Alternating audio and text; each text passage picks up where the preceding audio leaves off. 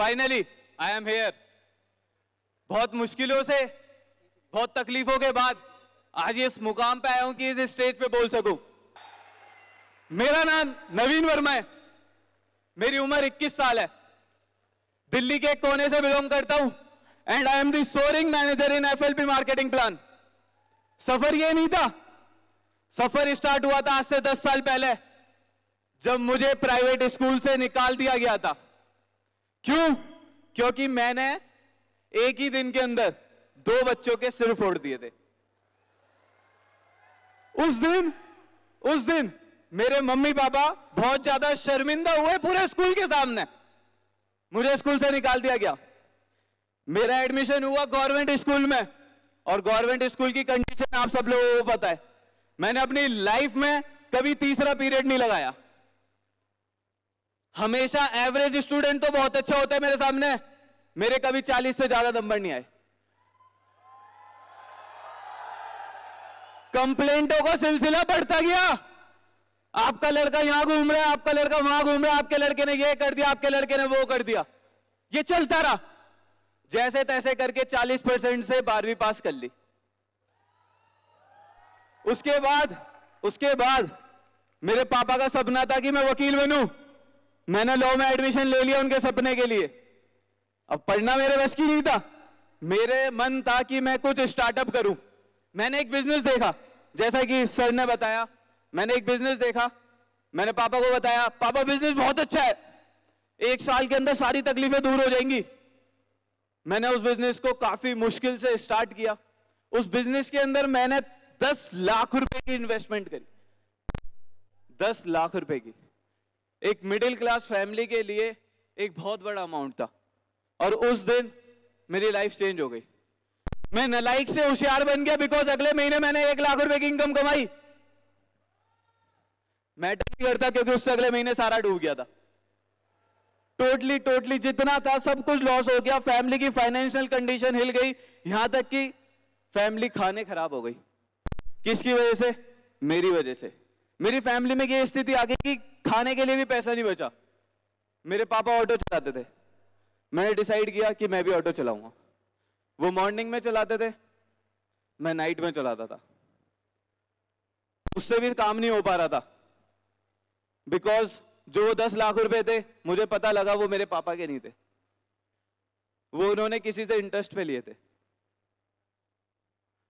जब मुझे ये बात पता लगी तो मैंने जॉब ढूंढनी स्टार्ट कर दी। मुझे कोई जॉब नहीं मिली बिकॉज़ मैं पढ़ा लिखा नहीं था, मुझे इंग्लिश नहीं आती थी, मुझे कंप्यूटर चलाना नहीं आता था। एक जॉब मिली जोमेटो में डिलीवरी बॉय की। जोमेटो में डिलीवरी बॉय की जॉब मिली, यहाँ से लाइफ का हर एक एक दिन मेरे को याद है, हर एक एक दिन। आप सब लोगों को चीख चीख के वो दिन बता सकता हूँ, लेकिन मेरे पास टाइम बहुत कम है। हर एक दिन ऐसा रहा कि यार, अब क्या होगा, अब क्या होगा, अब क्या होगा? हर एक दिन तो नहीं बता सकता, लेकिन एक दिन बहुत अच्छे तरीके से याद है। एक दिन। 31 दिसंबर 2018 नया साल आने वाला था। मैं अपना काम खत्म करके 11 बजे अपने घर आ रहा था कि मेरी बाइक में पंचर हो गया। मेरी बाइक में पंचर हो गया और मेरी जेब में एक रुपया भी नहीं था कि मैं पंचर को लगा सको। वहाँ से मेरा घर पंद्रह किलोमीटर दूर था। पंद्रह किलोमीटर। मैं पूरी रात बाइक घसीटता हुआ सवेरे चार बजे अपने घर पे पहुँचा। और जब चार बजे घर पे पहुँचा तो एक कुर्सी पे बैठ गया। और उस दिन सोचा कि लाइफ खत्म है। मर जाना चाहिए मुझे। मैं अपना दम तोड़ चुका था, मैं हार चुका था ज़िंदगी से बहुत बुरी तरीके से। और दस बजे मेरी आँख लग गई।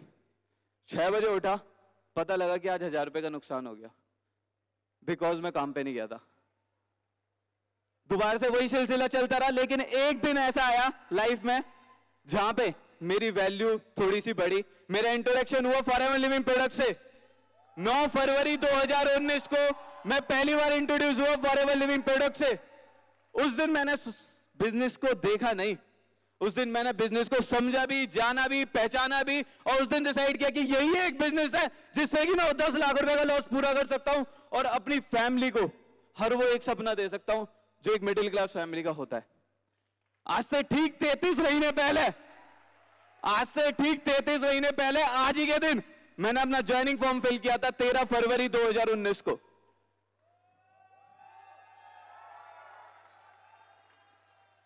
टाइम अप हो चुका है। सॉरी सर टाइम अप हो चुका है, लेकिन दो मिनट और। सिर्फ़ दो मिनट और। बहुत फास्ट बोलूँगा दो मिनट और। टाइम अप हो चुका है, लेकिन पूरा बता के जाऊँगा आज। बहुत मुश्किलों से चढ़ा हूँ यहाँ तक। नहीं आ रही आवाज़? तो उस दिन फॉरन फ़िल्म प्रोडक्ट से मिला, मेरे दोस्त हुआ करते थे। मैंने दोस्तों से बताया कि ऐसे ऐसे बिज़नेस है। उन्होंने मना कर दिया, नहीं करना बिकॉज़ ऑलरेडी लॉस कर चुका था। अकेला था। मेरे घर से नारायणा तक का सफ़र डेढ़ सौ रुपए का, डेढ़ सौ रुपए नहीं होते थे। अपलाइन से झूठ बोलता था कि मेरे पास इधर जाना है, उधर जाना है, उधर जाना है। पैसा नहीं होता था।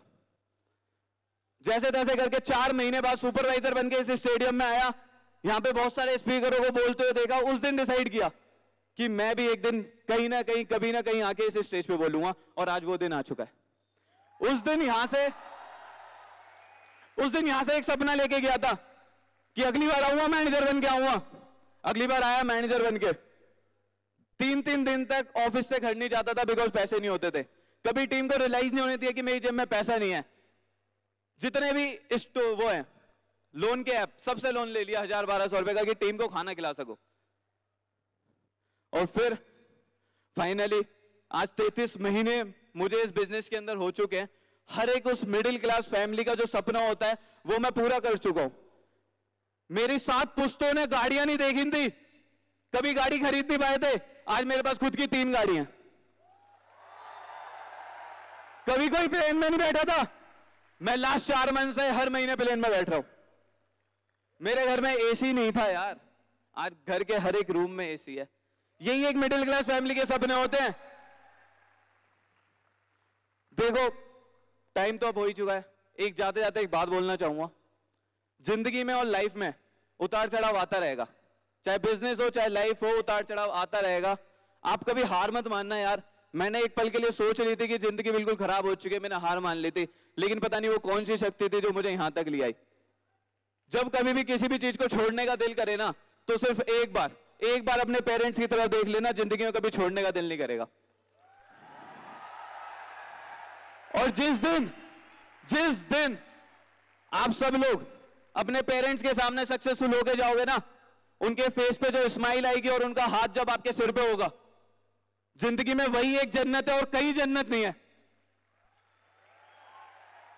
मेरे पेरेंट्स पूरी ज़िंदगी मेरे बारे में सुनते रहे दुनिया से कि नवीन ऐसा है, नवीन वैसा है, नवीन वैसा है। लेकिन आज वो प्राउड से कह सकते हैं this is my son this is my son this is my son एक बार एफ़ एल बी को थैंक यू बोलना चाहूँगा। Thank you everyone